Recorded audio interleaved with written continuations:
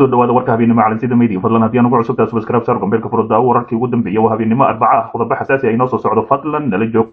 Xog xasaasi ah top news xasan cali kheyre oo daaha ka qaadi doono arrimo xasaasi ah. Lana hadli doono saxaafadda maxalliga ah. Bannaankana soo dhigi doono qorshihii madaxweyne farmaajo uu ka dambeeyey intii uu xilka hayay hase haatee ra'iisul wasaare xasan cali kheyre oo aad u caraysan ayaa waxa uu yidhi wax walba oo madaxweyne farmaajo falalkii ka dhacay dalka. Bannaanka ayaa soo dhigaya ayuu yidhi. Ra'iisul wasaarihii hore soomaaliya ayaa lagu wadaa inuu waraysi siiyo telefishinada maxalliga ah ee ka howlgala magaalada muqdisho sida ay calansida media ogaatay. Xasan cali kheyre ayaa cod u diray madaxweyne farmaajo iyo hogaanka baarlamaanka labada gole isagoo sheegay in ay tahay arrin dastuuri ah inuu isaga wareejiyo xilkii ra'iisul wasaarenimada waxaana arrintaasi gaashaanka ku dhuftay madaxweyne farmaajo sida ilo wareedyo ka tirsan villa soomaaliya ay u xaqiijiyeen calansida media hase ahaatee caradii halkaasi oo ka qaaday kheyre ayaa iminka waxa uu doonayaa inuu telefishinada ka caddeeyo wax waliba oo soo dhacay intii uu xilka hayay ee ugu weyn tahay dhiibistii qalbi dhagax xasan cali kheyre ayaa laga soo xigtay in uu hayo sir muhiim u ah qaranka soomaaliyeed wuxuuna sheegay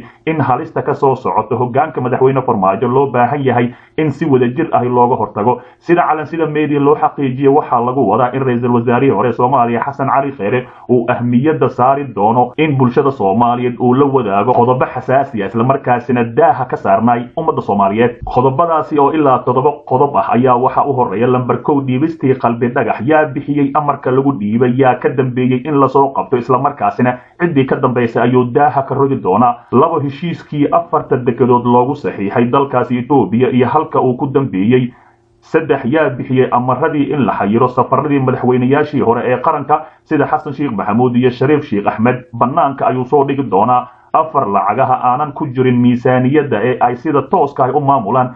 Farmaajo iyo fahad yaasiin asigana ooda ayuu ka rogi doonaa shan ciidamada lagu soo tababarayo eritereya ee ujeedka laga leeyahay lix doorashooyinkii ka dhacay koonfur galbeed iyo galmudug ooda ayuu ku rigi doonaa qorshihii madaxweyne farmaajo iyo fahad yaasiin toddoba qorshaha arrimaha shidaalka iyo kaalinta ay ku leeyihiin muuday iyo fahad yaasiin oo qaraabaha sidoo kale madaxweyne farmaajo ama villa soomaaliya. Toddobadaasi qodob ayuu daaha ku rigi doonaa ra'iisul wasaarihii hore ee soomaaliya. Waxaa lagu wadaa in isbuuca dambe uu xasan cali kheyre la hadlo saxaafadda xorta ahi ee magaalada muqdisho walow uu madaxweyne farmaajo wacad ku maray in haddii uu xasan cali kheyre la hadlo saxaafadda uu ka qaadi doono tallaabo sharciga ka baxsan. Xasan cali kheyre ayaa lagu wadaa in uu iftiimin doono mugdi badan oo ku jira falal aanan soomaaliya horay uga dhicin kuwaasoo dhacay intii uu ahaa madaxa xukuumadda dowladda federaalk soomaaliya. Hase ahaatee ummadda soomaaliyeed haddii uu toddobadaasi qodob bannaanka u soo dhigo ummadda soomaaliyeed ayaa xasan cali kheyre aamini doonto islamarkaasina madaxweyne farmaajo hamigii siyaasadda mugdi gelin doonto. Hase ahaatee xasan cali kheyre ma ka dhabayn doonaa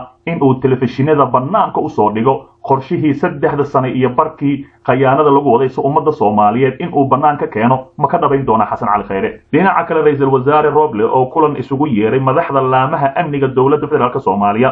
Ra'iisul wasaaraha soomaaliya maxamed xuseen roble ayaa maanta kulan la yeeshay taliyaasha ciidamada qalabka sida ee soomaaliya iyo laamaha amniga gobolka banaadir ra'iisul wasaare roble ayaa waxaa la sheegay in saraakiisha la wadaagay qorshaha xafiiskiisa ugu degan dardargelinta sugidda amniga dhammaystirka dib u habeynta ciidamada iyo la dagaalanka ururka al-shabaab sida lagu sheegay qoraal ka soo baxay xukuumadda. Ra'iisul wasaare roble ayaa u soo bandhigay taliyayaasha ciidamada ee uu la kulmay mudnaanta uu siinayo xalinta amniga guud ee dalka iyo xoojinta wada shaqaynta hay'adaha amniga ee heer federaal iyo heer dowlad goboleed ayaa lagu yidhi qoraalkani. Master roble ayaa laamaha amniga xusuusiyey waajibka ka saaran ilaalinta nabadgelyada iyo fududaynta dhaqdhaqaaqa bulshada isagoona faray inay sii xoojiyaan dadaalada lagu xoojinayo xalinta caasimada muqdisho waxaan idinku adkaynayaa in aad sii labalaabtaan howshii wanaagsaneed ee aad horay u soo wadeen lana timaadaan dadaalo dheeri ah oo aad si buuxda ugu fulinaysaan qorshaha amni ee xilliga doorashada ayuu yidhi ra'iisul wasaare roble. Kulankaasi ayaa waxaa ka qayb galay siihayaha ra'iisul wasaare ku-xigeenka dalka iyo xubno ka tirsan golaha wasiirada oo ay ku jiraan xubno ka socday guddiga amniga kuwaasi oo ballanqaaday in ay sii dardargelin doonaan qorshahooda ku aadan amniga iyo la dagaalanka waxa loogu yeero argagixisada. Gebagabadii wasiiru dowlaha xafiiska ra'iisul wasaaraha cabdulaahi sheekh xaamuud ayaa akhriyey warbixin ku saabsan waxyaabihii looga hadlay kulankaasi. Dhinaca kale madaxweyne qoorqor oo caawa soo gaaray magaalada muqdisho iyo shirka dhammaystirka heshiiskii doorashooyinka oo furmaya. Madaxweynaha maamulka galmudug mudane axmed cabdikaari qoorqor iyo wafdi oo hogaaminaya oo fiidnimadii caawa soo gaaray magaalada muqdisho ee caasimada dalka. Madaxweynaha ayaa garoonka diyaaradaha ee aadan cadde waxaa ku soo dhoweeyey xildhibaano ka tirsan golayaasha baarlamaanka soomaaliya. Socdaalka madaxweynaha ayaa la xidhiidha shirar ay madaxda dowladda federaalk soomaaliya iyo kuwa dowladda xubnaha ka ahi ay ku yeelan doonaan muqdisho. Shirarka madaxda ayaa looga arrinsan doonaa dhammaystirka heshiiskii doorashooyinka ee dhowaan labada aqal ee baarlamaanka soo ansixiyeen arrin murug leh oo ka dhacday afgooye kadib markii nin dhalinyaro ah oo kufsaday laba haween ahi haweenkaasi ayaa waxaa ka mid ahayd haweenay siddeetan iyo shan jir ahi. Booliska oo soo bandhigay nin lagu eedeeyey inuu kufsaday haweenay ay ku jirtay islaam waayeel ahi. Ciidamada booliska degmada afgooye ayaa gacanta ku dhigay nin lagu soo eedeeyey inuu beeraha afgooye ku kufsaday laba haween ahi islamarkaasina mid ay aad waayeel u ahayd. Maamulka degmada afgooye ayaa sheegay inuu fal kufsi ahi ka dhacay degmadaasi kaasoo loo geystay laba dumar ahi mid ka mid ahi ay tahay islaam waayeel ahi oo siddeetan shan jir ahi wuxuuna kufsiga ka dhacay tuulo ka tirsan degmada afgooye waxayna ciidamada soo xireen wiilkaasi oo baxsad ahaa ama wiilka idin muuqda ay soo xireen ciidamada booliiska. Guddoomiyaha degmada afgooye ibraahim cumar in ninkii falka kufsiga ahi geystay uu baxsaday kadibna la soo qabtay laguna soo bandhigay xarunta degmada isagoo gacmaha ka xihan ayuu yidhi ninkan la soo eedeeyey ayaa lagu wadaa in la soo taago maxkamad iyadoona labada haween ahi uu falka kufsiga ahi kula kacay loo qaaday isbitaalada islamarkaasina halkaasi lagu dabiibayo maadaama ay tahay hooyo waayeel ahi. Arrintani ayaa ka mid ahay falalka kufsiga ahi oo dhowaanahanba ku soo badanayay. Magaalooyinka qaar iyadoona uu weli taagan yahay. Kiiskii marxuumad xamdi maxamed faarax oo la sheegay in la kufsaday kadibna geeriyootay markii dabaq ku yaalla magaalada muqdisho laga soo tuuray.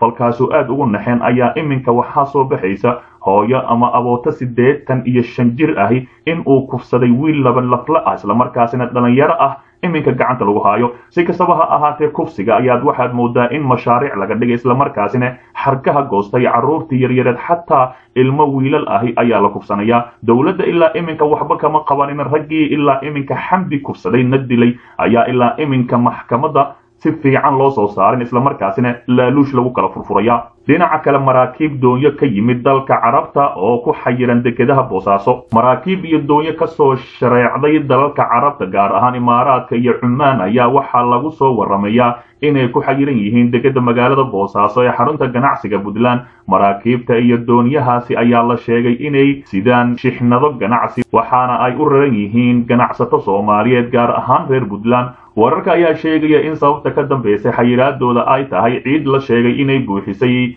marinka dekeda magaalada boosaaso oo ay haatan gacanta ku hayso shirkadda b o oo hoos tagta ee d b wall oo laga leeyahay dalkaas imaaraadka. Sidoo kale wararka ayaa intaasi ku daraya in maamulka dekeda uu maraakiibta iyo doonyahaasi ku amray in ay ku hakadaan xeebta ilaa muddo aan cayibnayn howlwadeennada degedda ayaa sidoo kale haatan wada dadaalo. Ciidda fara badan looga saarayo dekeda magaalada boosaaso ee xarunta gobolka bari d b wall oo horay heshiis ula gashay dowlad goboleedka puntland ayaa ballantu waxay ahayd inay dayactir iyo ballaarin ku samayso degedaasi balse weli waxba kama aysan qabanin. Dhinaca kale gabar soomaaliyeed oo ku guulaysatay tartanka quruxda haweenka muslimiinta ee maraykanka sahre abuukar dal ahaan ka soo jeeda soomaaliya ayaa ku guulaysatay tartanka miss muslimah u s a ka tartankani oo loo qabto sanadkiiba hal mar dhammaan hablaha muslimka ahi ee ku nool konton gobol ee maraykanka ayaa lagu tartansiiyey